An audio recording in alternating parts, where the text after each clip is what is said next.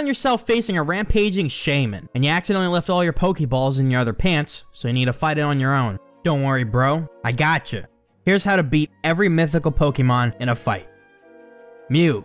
Physically, Mew is pretty weak. Just force it into a hot car for a few hours, and, like an unwanted child, the problem will take care of itself. Just remember to take it out after. The last thing you want is the smell of Mew baked into your car. Trust me, it will never come out. Celebi. Celebi are naturally very peaceful creatures, so if you have one attacking you, you're probably screwed up big time. I get it, lighting forest fires is a fun hobby, but be careful about which ones you burn down. Anyway, the easiest way to stop it is to catch it in a big net like Crocker trying to catch fairy godparents. Once trapped, it will be helpless and you can continue your delightful arsonistic activities. Jirachi. All Jirachi are recovering alcoholics, so it's easy to use this to your advantage. With a little peer pressure, you can easily get Jirachi behind the wheel after pounding a couple of Four Lokos. Now, all you have to do is call the cops and stick a DUI charge. Deoxys. So, Deoxys has four forms, but luckily for you, all of them have gambling addictions. If you do find yourself in an altercation with one, ask it if it wants to go to the casino. This will snap it out of any rage, just make sure you leave before it gambles away all of its money. If that happens, it'll be way more angry than before. Phione. One of the Guardians of the Sea, this Pokemon can easily be taken care of by polluting its environment. To fight Phione, just throw some car batteries into the ocean. You should throw car batteries into the ocean. Take car batteries and throw them into the ocean. Throw car batteries Manaphy. Like Phione, it is a sea creature, so the car battery trick will work. However, I'll give you a second method since I'm feeling generous today. You can easily take care of it by dumping plastic straws into the ocean. Dump plastic straws into the ocean. Plastic straws are gray in the ocean. Major Mystery does not endorse polluting the ocean. Darkrai. Alright, I ain't gonna sugarcoat it. Darkrai is gonna be tough. First thing it's gonna do is put you to sleep, but luckily you've been practicing lucid dreaming. Once you fall asleep, change the dream so that Darkrai is giving a speech in front of the whole school. Suddenly, make it so it's only wearing its underwear. At this point, it'll be so embarrassed that it'll run away in tears. Shaymin. Look at this little guy. So tiny and adorable. Fortunately for you, that means you can easily beat the crap out of it. Shaymin are small, so just get a big boot and step on it like a roach. However, like roaches, there's a chance it'll suddenly sprout wings and start flying. If that's the case, try not to scream, and just grab your anti-Shaymin spray and blast that sucker. Arceus. First, you need to install Genshin Impact. Next, you need to buy a body pillow of your favorite waifu. Then, you need to make sure that you absolutely do not take a shower under any circumstances. Finally, make a Reddit account and head to r slash atheist. After completing these steps, you'll suddenly sprout a neckbeard and become the average internet atheist.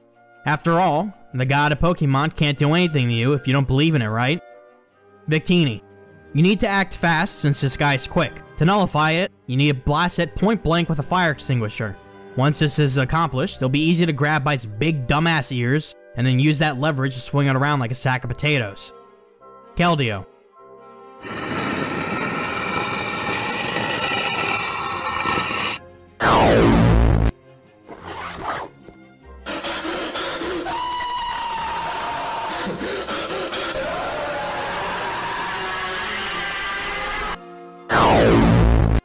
Meloetta. This Pokemon has a very bossy attitude.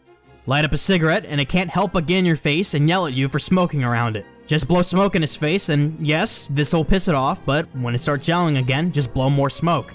Eventually, if you do this enough, it will get sick of your bullshit and storm off. Genesect. Genesect is the type of Pokemon to agree with any opinion someone else says because they lack self-confidence and are desperate for validation. Literally, all you need to do is say that you disagree with them, and you can watch them backtrack and fold instantly. It's hilarious! Diancie. Hoopa. If a Hoopa is giving you trouble and trying to start a fight with you, just make fun of it for liking Adele. Hoopa are huge Adele fans, but get really defensive about it if you bring it up. Eventually, it'll get fed up and sulk off. You need to be really careful though. If you push too hard, it may enter its unbound form and beat the shit out of you. There's no stopping it in this state. Volcanion. If you ever have problems with this, just let me know and I'll call up my homie Homer Simpson. Yeah, we go way back, used to go to middle school with each other. Anyway, a while ago, he ate some weird-ass gloop and became some sort of giant blob. Just point him in the direction of this rampaging Pokemon, and he'll think it's a donut and take care of your problems, no questions asked. Magearna. I used to date this really nice woman with three kids and a bum ex-husband. She needed help taking care of the house, so she hired a Magearna to help out. The thing is, weird things started happening to me. Kinda like someone was trying to intentionally sabotage me. Eventually, after almost being killed, I discovered that the Magearna was actually her ex-husband in disguise. If you experience weird things after a Magearna suddenly appears in your life, odds are it's a man in disguise trying to bring your downfall. You'll need to act quickly before it's too late. Call the cops, beat it up yourself, doesn't matter. Time is of the essence. Marshadow. This Pokemon lives in the shadows. If you're being attacked by one, odds are you're in a dark alley and trying to steal your wallet. Luckily, you always carry your 200,000 lumen flashlight. Just crank that bad boy on and watch as that sucker's blasted with the concentrated power of the sun. This will render it completely helpless against the onslaught of your fists. Zeraora. This Pokemon's entire gimmick is fighting with electricity, so once you take that away, it's an easy fight. The most simple way to do this is to wear a rubber or latex suit. Just borrow one from your parents. I'm sure they have one or two in their closet. Once suited up, you'll be confused as to why its attacks have no effect. This will give you the perfect opportunity to attack. Meltan. Big ass magnet. It's that easy. They'll stick to the magnet like magnetic putty, rendering it immobile. Melmetal. The Pokemon Wiki says that this Pokemon can rust, so, using this to your advantage, you have to bait the Melmetal into attacking you near a fire hydrant. Next, simply roll out the way at the last second. With any luck, it breaks open the hydrant and gets blasted with the power of Neptune. Zarude. This guy's chill as hell. I mean, look at him. All you need to do is dap him up. He's not going to start a fight with you because after his girl broke his heart, he became Buddhist, so he's entirely non-violent. Well, that's it. I hope you all survive your encounters with any wild mythical Pokemon. Please leave me a comment saying which one you think you could take in a fight. Also, I plan on branching out and exploring more games, so let me know what you thought of this video.